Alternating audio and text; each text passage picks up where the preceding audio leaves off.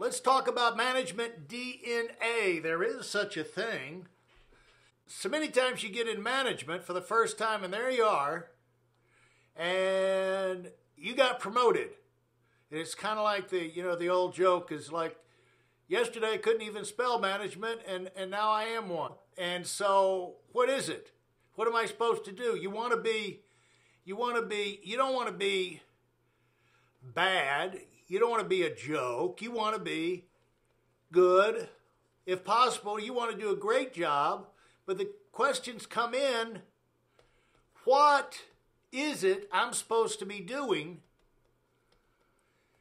You can't just go through the motions. You can't just accommodate people. There's things you, you're, you're expected to get done. There's things you've got to do with people. And maybe you had some role models, some bad ones and some good ones that gives you an idea of style. But let's how about how about if we specifically look at those areas? Would it be helpful if we looked at the specific areas that go on up here? Actually, what it is is there's one, two, three, four things that if you handle correctly, you're going to be known as a great, great manager. There's not a thousand of them. Four things. So let's take a look at what these are because they do determine your effectiveness. Let's go in and look the first one. First one, what do you think it is? First one is time. If you go out, you only have, first of all, you need to know what your time frames are. What's important to the company? Any kind of what's how are you judged?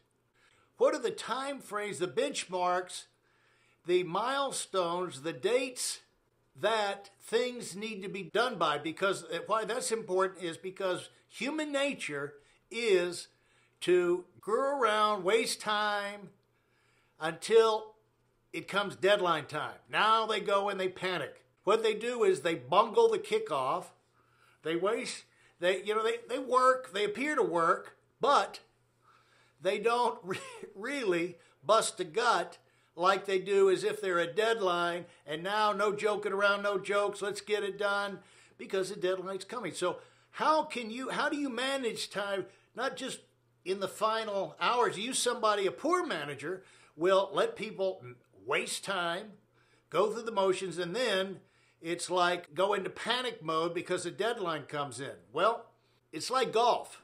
A stroke you waste on the first hole is every bit as important as a stroke you waste on the 18th, where maybe in the 18th hole you wind up losing your match.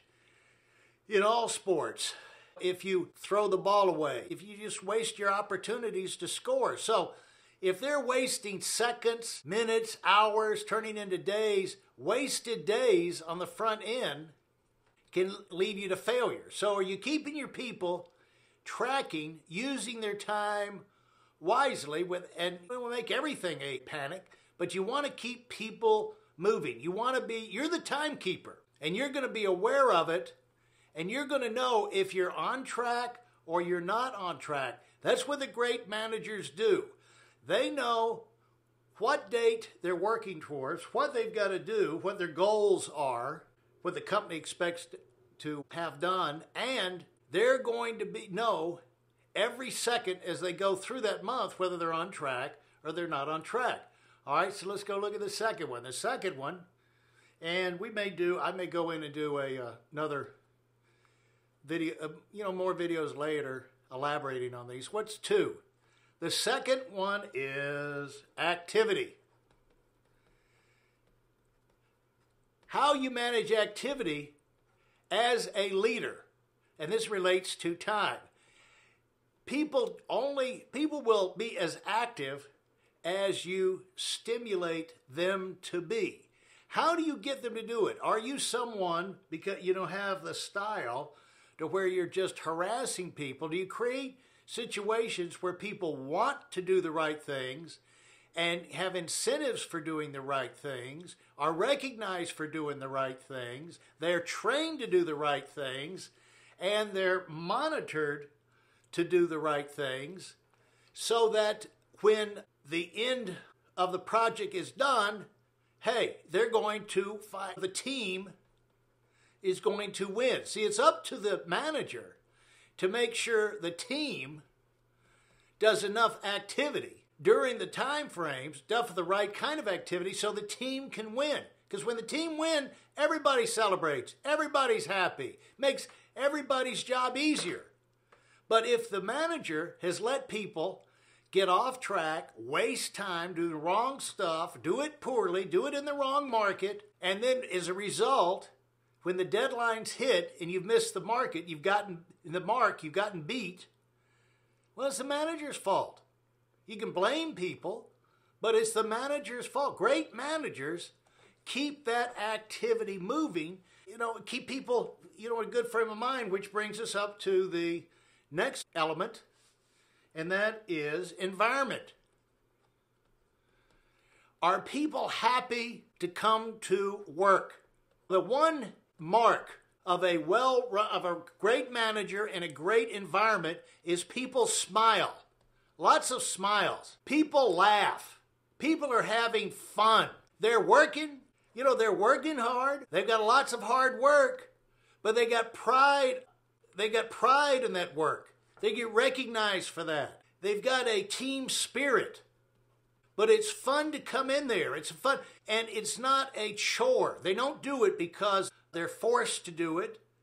Of course, they get paid and they're doing it and they want to get promotions, but they get, they like to accomplish things. They know they play a big role in the whole, in reaching the target for the whole team. So when they're, the team wins, that, they had a big part of that. Even if they only have a small, undefined relationship to the final product, the right kind of manager will let them see how what they do was a big key to creating things. Maybe they're not on the front line of actually making the sales or doing the project, but they're maybe a key person in the support side of things, which allows everybody to do what they're supposed to do. The people who get more of the glory, but letting people feel like, hey, that's my victory. That's that's my team. That's my win. So the great leaders will create that kind of environment. Now let's get to the fourth thing, Coach.